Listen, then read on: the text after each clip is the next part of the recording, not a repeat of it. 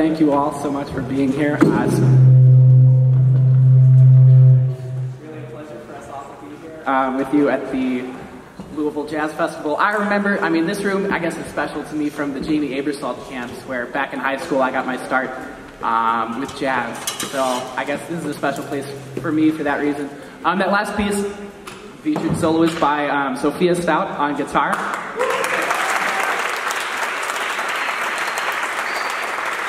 And then uh, we had John Layton on the alto saxophone.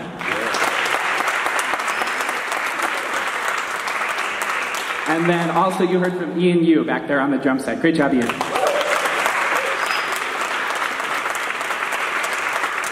Okay, so this next piece is um, the Jerome Kern Standard. The song is You, and it has been uh, given a really interesting arrangement by a great composer arranger. His name is Jim McNeely. He currently works with the Vanguard Jazz Orchestra, the longing, longest running um, continuous uh, continuous jazz orchestra, and they play in New York City every single Monday night. I think it's like 2,700 Monday nights. That's pretty amazing. Uh, anyway, he's their writer, and this tune is going to start with a uh, like a three chorus um, horn solo. So you hear that just the horn section, and then the drum set, and then we have a nice solo section in the middle, and some beautiful ensemble writing at the end. And um, this piece is special to me because of the person who introduced that to me, in- introduced it to me, and his name uh, it's the late great David Baker. So um, he played this piece with his band, and it, uh, I guess hearing that inspired me to share this, mu- investigate this music further myself, and then share with my students and all of you. Um, so we really hope you enjoy this version of um, the song "Is You." Solos will be um, Braden Wisely, tenor saxophone, Griffin Loudermilk, trumpet, um, John Layton, alto saxophone, and then Ian Yu on the drum set. So we hope you enjoy.